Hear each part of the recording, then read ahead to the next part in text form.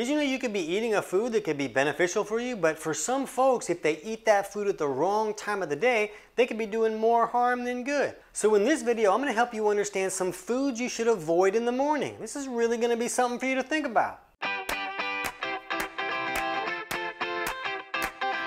TC Hale is not a doctor and does not claim to be a doctor or licensed in any type of medical field. Don't be an idiot and use anything heard on the show as medical advice. This information should be used for educational purposes only, and you should contact your doctor for any medical advice. Now get off me. So it was Dr. Emanuel Revici who helped us understand that the body has a natural circadian rhythm at the cellular level. During the day, the body should be in a more catabolic state where the body is very good at, at creating energy and kind of keeping us going all day, but also breaking down tissues so that those tissues can be rebuilt and the body can be renewed. And then at night, did you see what happened to that pen? We'll do that again. And then at night, the body should move into a more anabolic state. You're still thinking about that pen thing. But that's where the body should be at night, where it's very good at sleeping and resting and rebuilding and repairing. So you can see that we really need both of these states going on. We really want the body to break down so that it can be rebuilt and renewed. And the problem is that some people can get stuck in one of these states most of the time, or maybe they're just pushed too far into one of these states. And that can really create a wide variety of health issues. It's not just about can you sleep? Is your circadian rhythm working? There's a lot of things that you want the body to be able to do in this daytime catabolic state, and you want it to be able to complete all its functions that it needs to complete at night in this anabolic state. So when we're looking at eating foods and timing them to help that circadian rhythm, we want to look at the foods that might have a pro-catabolic effect or a pro-anabolic effect. And the reality is that most foods are going to be neutral for most people. They're not going to have an effect that pushes a person too far in a catabolic state or too far in an anabolic state. And we also need to look at the individual. If a person is dealing with an imbalance, maybe they're already stuck in this anabolic state most of the time, and then they're going to eat foods that push them even more into that state, well, that's going to be really problematic for that person.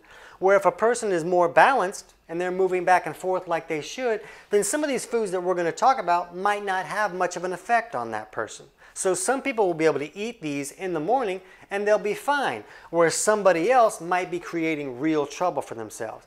But in either case, if you can understand that it's very beneficial for the body to be in this catabolic state during the day and this anabolic state at night, if we can eat in a way that really helps the body optimize these states and move into a catabolic state a little easier during the day and maybe move into an anabolic state a little easier at night, then we can really optimize the way the body is functioning. So when we look at our list and we see poached and soft-boiled eggs, these seem to have a pro-anabolic effect on most people. So if we eat these in the morning, when we're supposed to be more catabolic, we're actually working against the body's circadian rhythm. Now, interestingly enough, with eggs, if the yolk is cooked hard, it seems to have more of a pro-catabolic effect. So somebody eating scrambled eggs or hard-boiled eggs in the morning would be working with the body's natural circadian rhythm. But with things like poached or soft-boiled eggs where the yolk is still runny, it's more beneficial to eat those at night when the body is supposed to be in a more anabolic state. Things like butter and heavy cream and ice cream. All very pro-anabolic things. Maybe that's why so many people like to have ice cream at night before they go to bed. Uh, vinegar also has the ability to be very pro-anabolic for a lot of people. Cheese also has the ability to be pro-anabolic, and so do things with sugar in them, and also like juice and soda all those seem to have a pro-anabolic effect on most people.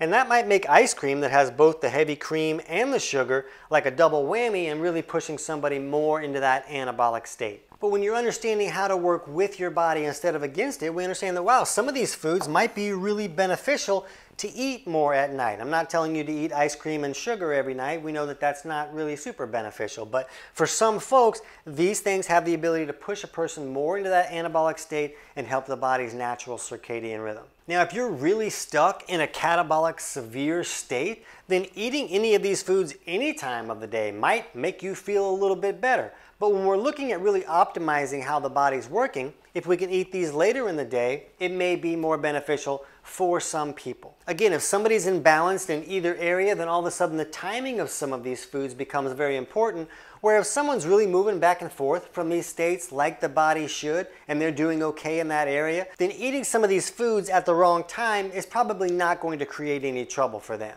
Now, chapter 15 of my book, Kick Your Fat in the Nuts, goes into some other foods that may have a little bit more of a pro-anabolic or pro-catabolic effect. And I'll put a link in the description below where you can get the whole book totally for free and you can just jump to chapter 15 if you want to learn a little bit more about this. And if you want to learn more about how some supplements can have a similar effect, We'll put a link in the description below on our videos for avoid these supplements in the morning and avoid these supplements at night. And if you haven't seen it already, jump over right now and check out our video on foods you should avoid at night. And if you've seen that already, check out our video on how to know if your circadian rhythm is off. I can't wait to hear about your results.